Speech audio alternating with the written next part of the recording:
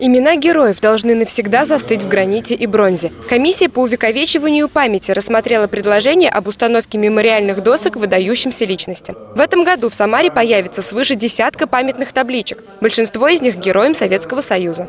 На 2015 год мы запланировали 8 таких установок. То есть вот до 9 мая мы хотим установить э, Колычеву, Михалеву и Мальцеву в первую очередь. Все документы, необходимые для установки, мы собрали. К сегодняшним вот этим вот э, трем установкам все уже готово. Дизайны, места, все в принципе согласовано.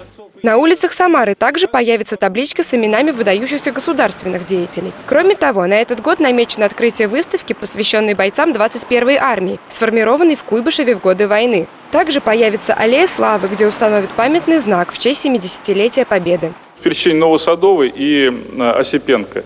Я все-таки предлагаю это где-то в середине аллеи сделать все-таки. В середине аллеи развернуть его э, в сторону Осипенко. Он будет виден э, также хорошо людям, которые проходят мимо по этой аллее. Мы его, ее в прошлом году тротуар выложили плиткой, там теперь благоустроено, уютно и хорошо. Большинство памятных объектов установят до 9 мая. Таков подарок Самаре в преддверии юбилея Победы.